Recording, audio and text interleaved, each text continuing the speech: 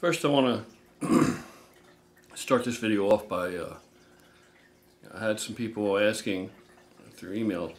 Quite a few people have mentioned uh, this piece of art hanging on the wall behind me, what it is, and those are the paw print impressions of um, my dog Baby, my awesome, awesome, awesome, brilliant dog Baby who is no longer with uh, us.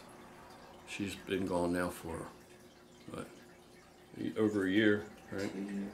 Two whole years already. We I Gibson will be three years in October. Baby passed away. Probably two two years maybe. Wow. April and Easter. Anyway, so that's what that's about. That's what that is. There's a lot of stuff around here. Memorializing baby and what a dog, man. That dog was. That dog understood just hand commands, hand signals, uh, and she understood right turn, left turn. You know, she could be walking ahead of you, uh, and you could say, if, I had her out there looking, and I could say, right turn, baby, right turn, she'd go right. I said, left turn, she'd go left. She knew she could differentiate between colors. Now, I don't know, uh, for instance, if she had four different balls and they were all different colors, I don't know that red to her is the same red I see, or blue to her is the same blue that I see, but she learned what her red was, the difference in those balls, and that ball was red. And she learned what her blue was, and that ball, you know, which I taught her was a blue ball. However, she saw it, she could still tell from shades or whatever a dog can see. Maybe she can see blue. I don't know what she could see, but she could differentiate it. That if I told her go get her ball, she went and got a ball, and I said, not that ball, your blue ball. Go get your blue ball. She'd look all around for it, and if she didn't see it downstairs, I could say, baby, your blue ball, it's upstairs in the bedroom. Upstairs, bedroom. She'd think a minute, and then she'd go trotting off real quick, go up the steps. She'd come back with a blue ball. So, you know, she could go do that with a red ball, green ball, yellow ball. She was a really smart dog. What a good dog. Good Lord. What an awesome, awesome dog. Anyway,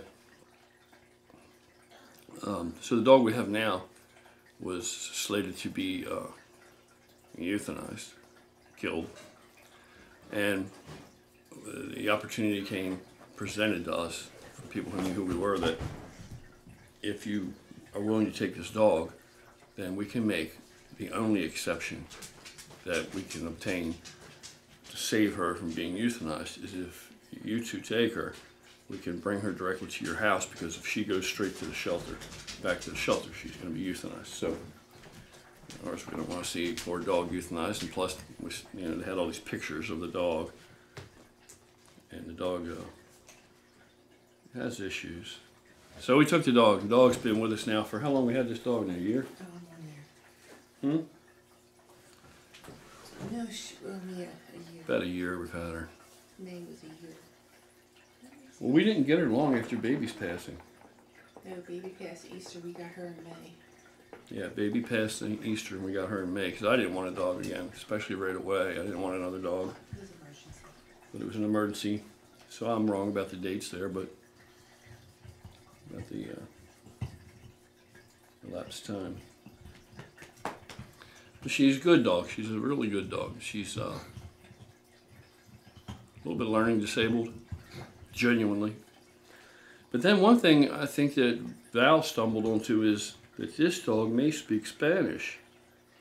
And she may not really have as much of a learning disability. It may just be that this is a new language for her because we don't know where she came from. She was a stray, uh, you know, allegedly for, and she, the pound picked her up, and then she went out to two different adoptive families, and both places something bad happened.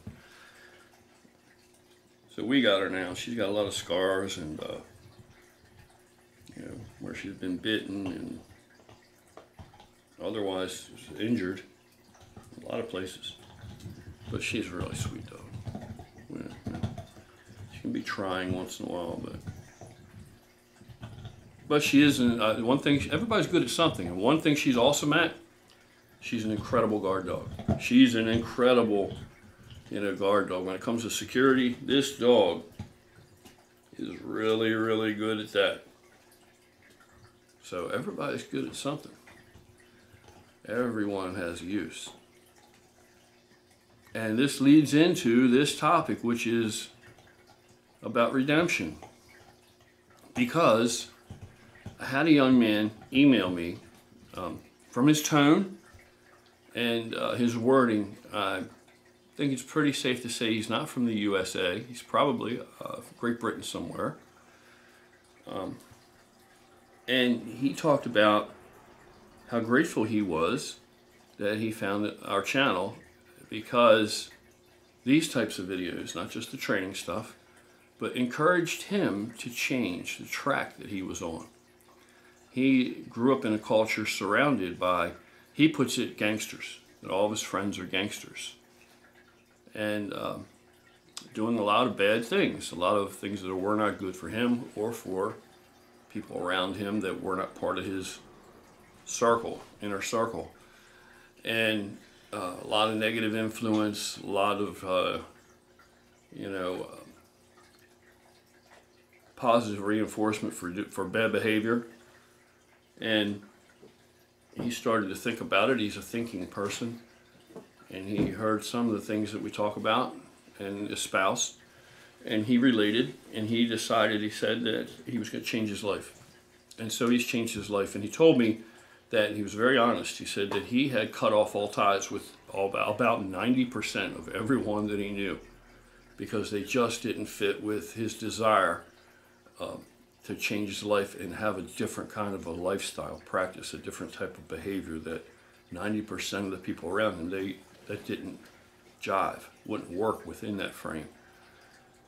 And he goes to the gym, he keeps to himself, and he just is, uh, was very grateful. And the one thing that kind of haunts him is because he's continuing along, improving himself and his life situation but he feels that he can never achieve redemption because in the back of his head, he's not sure he's deserving because of some of the behavior that he's practiced. And um, I just want to say that he's absolutely so young. He has the majority of his life ahead of him. Majority you know, if you really are hard on yourself and you're down on yourself, and this is for anybody out there, and you feel that where you're coming from, that there's no sense in changing now or switching streams, you know, and that you don't deserve, you do not deserve better. You don't deserve for anybody to pat you on the back, for any type of behavior that you might uh, display that is laudable and good, positive for anybody to compliment you on that kind of behavior that you don't deserve it because you're so used to having this negative behavior that that's positively reinforced in certain circles and things and you feel like you don't belong around you know good and decent people now that you're beginning to acquire and attract to you because of the change that you've made trust me you do deserve it you do deserve it other people in our community of man, woman, humanity. They deserve it, and you do deserve it. You do deserve it. It's it's part of a learning process. That that um, positive reinforcement you got for negative behavior in the past, that now you know that that's not the way to go.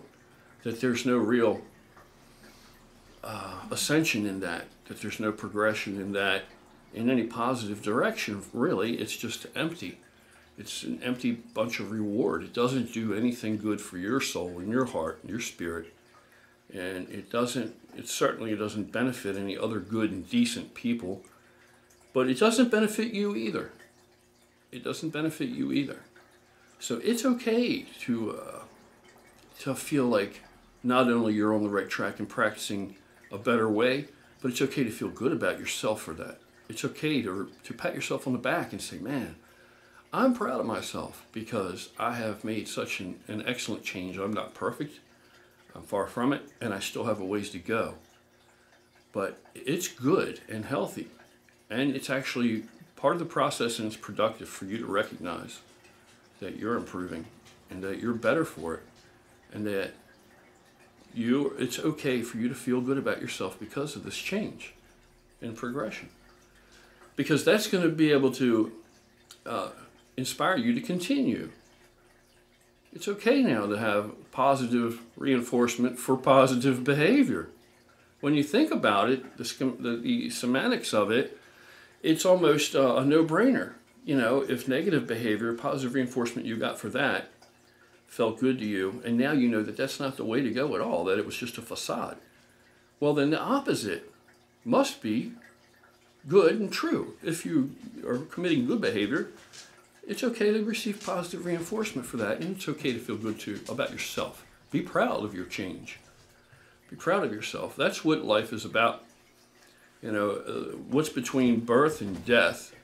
That's life. That's the journey, and there is a journey. Many, many, many people they progress slowly, and, and, and, from a young age, they make awesome progress at first. They're like a rocket ship. They learn and they absorb so much, and they come to their own conclusions, and they, you know, apply this new brain. They're learning how to um, correlate thoughts and input together, arrive at decisions, and make good decisions and healthy decisions, and all this stuff. And then as they get a little bit into adulthood and a little further, they start to slow down a little bit because now they're pretty stable.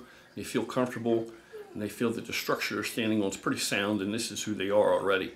And that's good, but don't uh, be so sure that there's not much, much, much more room and need for growth.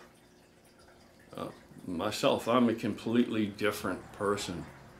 Same physical being, and I have the past is my past. I own it.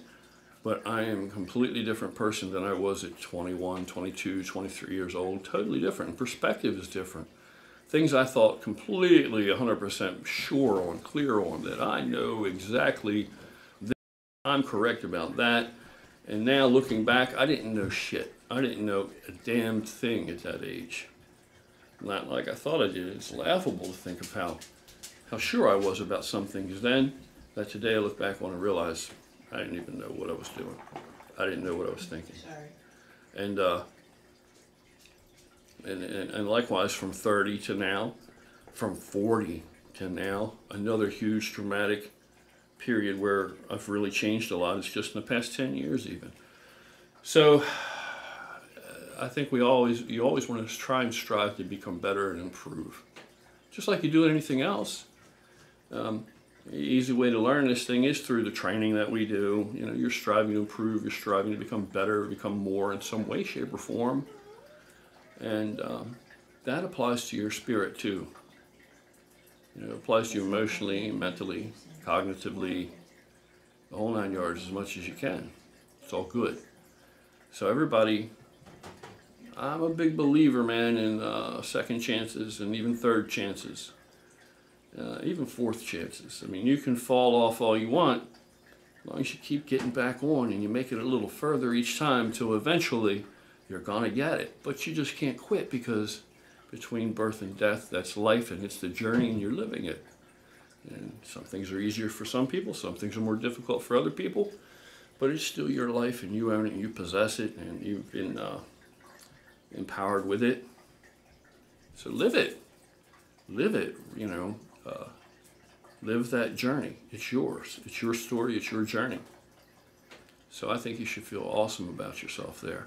And most definitely, you know, any kind of negative influence that's around you, if you submerge yourself in that, um, especially initially, you need to, uh, to, cut all that, get away from all of that. I remember a period in my life where I had to rid myself of uh, my entire social circle because they, I could clearly see they're not going where I want to go and um, you know we parted company, and I just had to put them to the side, man. A lot of people had to go. But you find uh, new people, and the reason you were with those people is because you were giving off a similar vibe.